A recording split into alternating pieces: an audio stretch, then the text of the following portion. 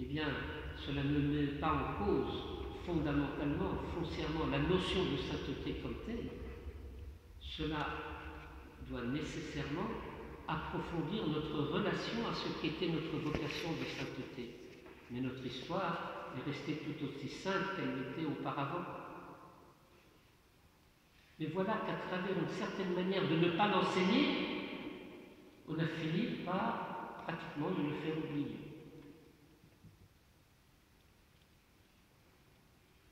1850, plus ou moins, je regrette d'avoir à le dire en ce lieu, un grand rabbin de Paris a déclaré le peuple juif est mort.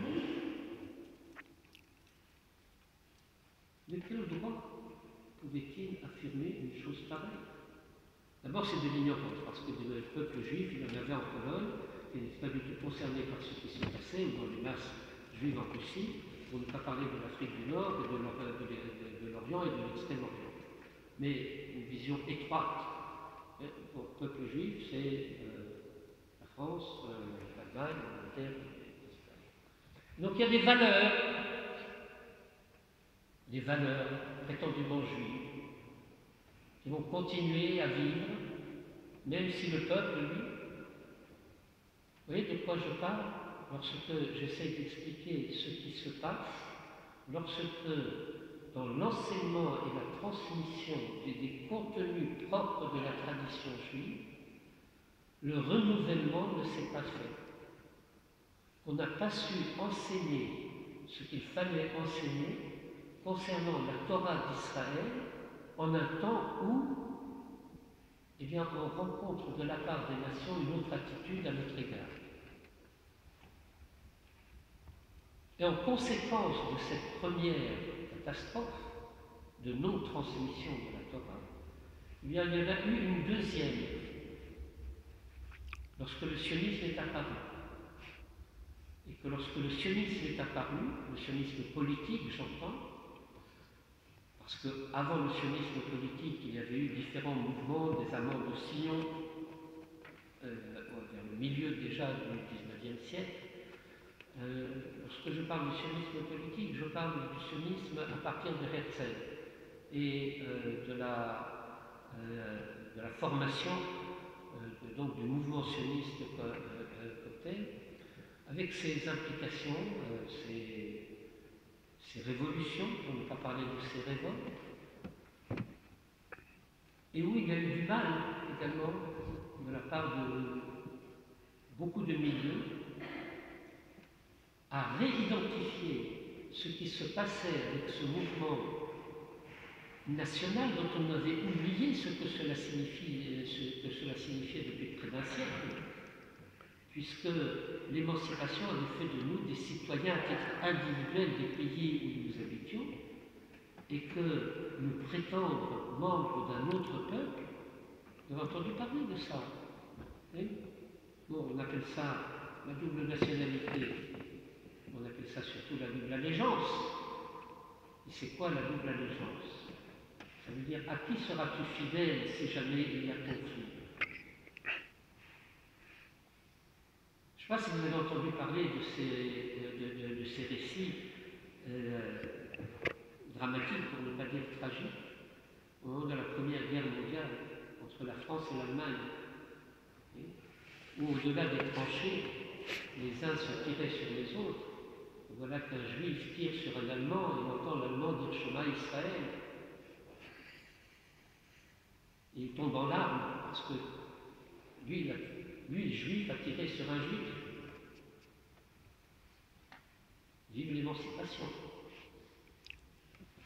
Alors bien sûr, l'émancipation, c'était un moyen pour cesser d'être maltraité, pour cesser d'être euh, euh, pourchassé. Euh, mais si l'enseignement avait su passer, alors nous aurions su suffisamment faire la différence entre ce qui relève de la vérité de l'identité de ce qui relève des stratégies de survie. Mais ça n'a pas été le cas. Et lorsque, au tournant du 19e et du 20e siècle, eh bien, sont apparus à l'horizon déjà de la part de ceux qui étaient capables de diagnostiquer ce qui se préparait. Et peut-être que ce n'était pas évident pour beaucoup, mais pour certains cela l'a été. Qu'il fallait et qu'il était urgent de sauver les Juifs et que les Juifs étaient en danger dans les pays d'Occident.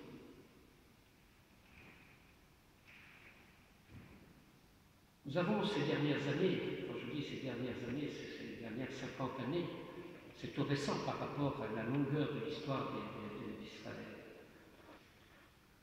des, euh, des, des, des, témoignages de disciples directs du Gaon de Vilna. Vous avez entendu parler du Gaon de Vilna. Gaon de Vilna, grand maître de la ville de Vilna, en Lituanie,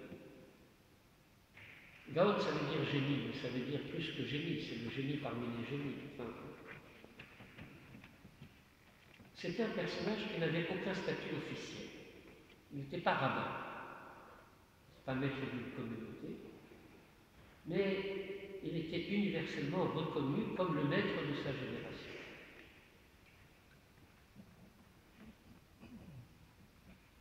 Et il a commencé à parler à ses disciples les plus proches de la nécessité, nous sommes à la fin du XVIIIe siècle, de la nécessité de commencer à partir en Eretz Israël, pas pour y créer des écoles, c'est pas interdit d'étudier, loin de là. Il faut aller en Eretz Israël, pas pour créer encore une école de plus, mais pour rédimer la terre, pour construire, pour planter, pour restaurer l'économie du pays. 18e siècle. Et son disciple raconte, jour après jour, notre maître nous parlait avec des larmes dans les yeux, en nous disant de l'urgence qu'il y avait à partir, et qu'en Eretz Israël et à Jérusalem nous aurions le refuge, et de ne pas tarder, de ne pas rater le coche. Que savait le Gaon de Vilna à la fin du XVIIIe siècle de l'urgence à quitter les pays d'Europe et du fait que là-bas, c'est-à-dire en Eretz Israël, Sham Pleta, c'est le terme utilisé en hébreu, là-bas il y aura le salut et de ne pas rater le coche. Il disait ça en pleurant. Que savait-il pour pleurer en disant cela? Eh il y a des euh, gens à la fin du XIXe, au début du XXe siècle, qui n'étaient pas du tout religieux, mais qui ont pris cet avertissement, qui ont pris ces menaces en quelque sorte au sérieux. Il faudra avoir beaucoup plus de temps que je n'en dispose pour expliciter en quoi Théodore Herzl a compris avec l'affaire Dreyfus qu'il y avait un leurre, qu'il y avait euh, une illusion à croire que le monde avait changé, que les Juifs étaient acceptés. Et si lui, Herzl, l'a compris à la fin du XIXe siècle, nous sommes bien placés, nous, aujourd'hui, dans l'Europe contemporaine, pour savoir à quel point cela est encore et toujours vrai, malgré les espérances qu'on a pu avoir du plus jamais ça après la chose. Donc voilà, cette dimension de ce que j'ai appelé dans mon titre initial le renouvellement, c'est-à-dire ce qu'on appelle en hébreu le chidouche. Et le chidouche, pas d'autre mot pour le traduire que renouvellement, c'est le fait qu'il y a une nécessité absolue pour que, en particulier au temps de passage, soient présents les maîtres qui vont savoir dire à Israël la Torah pour le temps qu'ils vivent. Pas telle mitzvah particulière, pas le fait de savoir est-ce que c'est cachère comme ci ou est-ce que c'est pas cachère comme ça. Non pas que la cachoute ne soit pas importante, c'est très important. On n'a pas vraiment besoin de Amal Torah pour savoir ce qui est caché et ce qui n'est pas. Il y a un verset de livré à un verset des chroniques, comme on dit, qui nous fait part du fait qu'il y avait dans une tribu d'Israël des spécialistes d'un domaine très particulier. C'était certaines familles de la tribu de Issachar,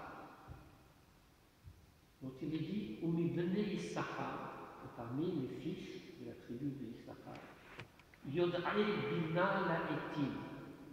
Il y en avait, il y avait certains qui avaient l'intelligence de la connaissance des temps. La Da'at Ma Ya'ase Israël, pour savoir ce que Israël devait faire. Yod'e Bina la Etim. Une connaissance de ce qui est nécessaire pour discerner un temps d'un autre temps. Vous savez, nous avons dans la liturgie des, de la prière quotidienne une bénédiction, dans les bénédictions du matin, euh, où on loue, le verbe louer, Dieu, on le remercie d'une certaine manière d'avoir donné au coq l'intelligence de distinguer entre le jour et la nuit, entre la nuit et le jour. Annoten la serre de Bina, la frise de l'homme de qui donne au coq, ça s'appelle servir en classique, Bina, l'intelligence, le discernement, la frise pour distinguer entre le jour et la nuit. Enfin, moi aussi, je distinguer entre le jour et la nuit. Il y a la nuit, le jour se lève, c'était la nuit, c'est maintenant le jour, je suis parfaitement distingué. Qu'est-ce qu'il a de plus, le coq, sur moi? Ah oui, mais le coq, lui, il chante à minuit. La capacité du coq de savoir à minuit que c'est déjà quelque part l'indice du jour suivant, cette intelligence-là, c'est de cette même nature qu'est l'intelligence de ces enfants de la tribu de Issachar, qui la science du discernement des temps pour savoir ce que Israël devait se préparer à faire. Israël, non pas à l'échelle individuelle de chaque juif qui doit savoir euh, est-ce que c'est déjà l'heure, est-ce que c'est pas encore l'heure de la prière de Mitra, euh, ou euh, de, savoir, ah, vous savez, c'est important, après ça, on mange des matzot. Et puis à Kippour, on jeûne? C'est important de le savoir. Manger des matzot, c'est une mitzvah. Après ça, pas tout court. Il y a des comportements, des conduites qui sont des conduites positives en certains temps et qui deviennent des conduites de faute en d'autres temps. Lorsque le chidouche manque, lorsque l'enseignement qui fait que la compréhension de ce que la Torah exige de nous en tant qu'Israël à l'échelle collective, lorsque cet enseignement-là manque, alors toutes les catastrophes deviennent malheureusement possibles. De notre temps, pour nos générations, et ce sera ma conclusion, nous avons eu la chance d'avoir un grand maître qui a su enseigner ce qu'il fallait enseigner à la fin du XIXe siècle et dans les, premières décennies du XXe siècle, ça a été le Rav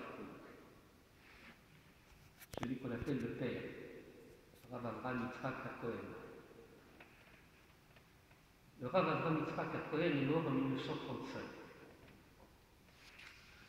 L'un de ses derniers enseignements a euh, concerné une mise en garde contre le nazisme euh, qui commençait à sévir déjà en Allemagne.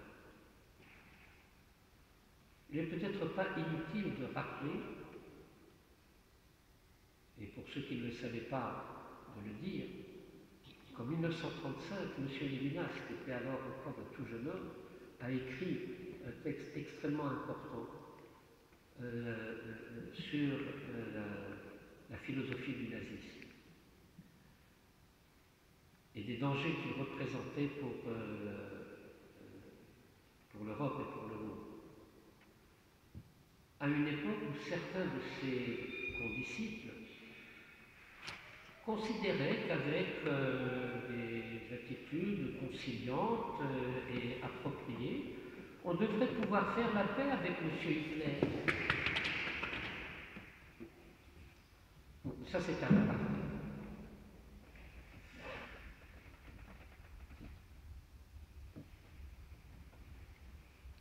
On suivit années de guerre et puis la création de l'État d'Israël.